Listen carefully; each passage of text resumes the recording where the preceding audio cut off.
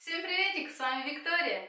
Если вы тоже любите косметику и любите видео о ее покупках, тогда оставайтесь со мной.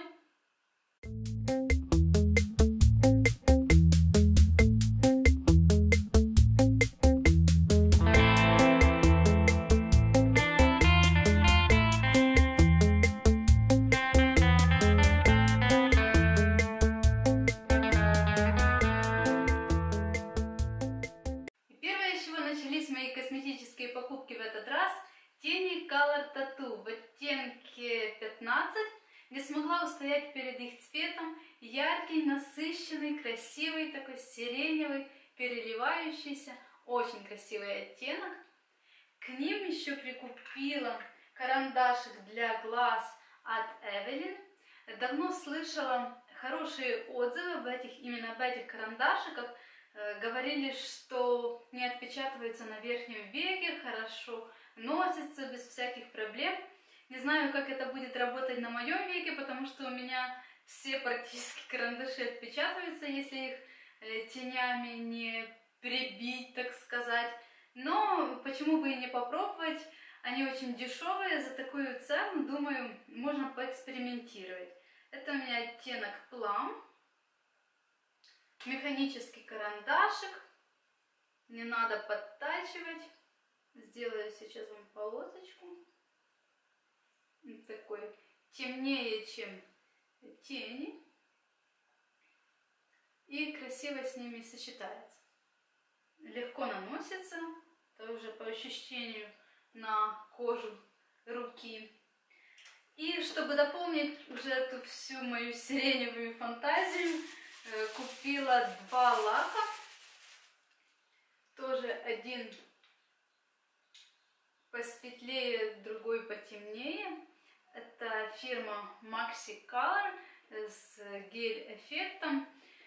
Мне нравятся эти лаки. Надеюсь, в ближайшее время я все-таки сниму э, видео о своей коллекции лаков. Давно уже вам обещала. И тогда расскажу о них уже более подробно, покажу сводчи.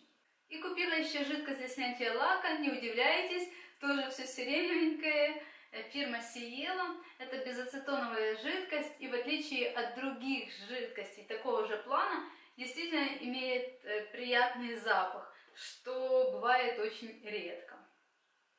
Потом еще забежала в Литуаль и прикупила там только полосочки для носа. Они мне нравятся, они работают на мне.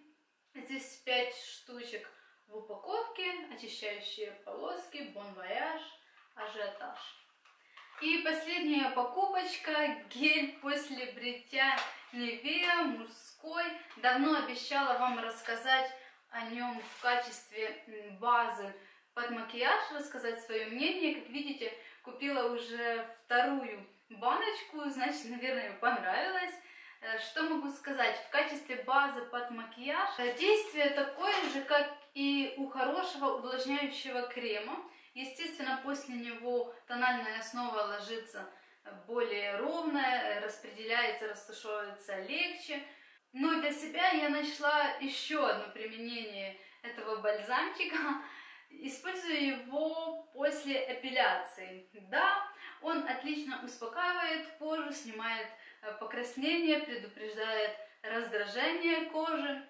Если вы еще до сих пор сомневаетесь, но хотели всегда попробовать средство, рекомендую, если вдруг вам не подойдет или не понравится, знаете, кому отдать, супруг, брат, папа, друг, кому-то точно подойдет.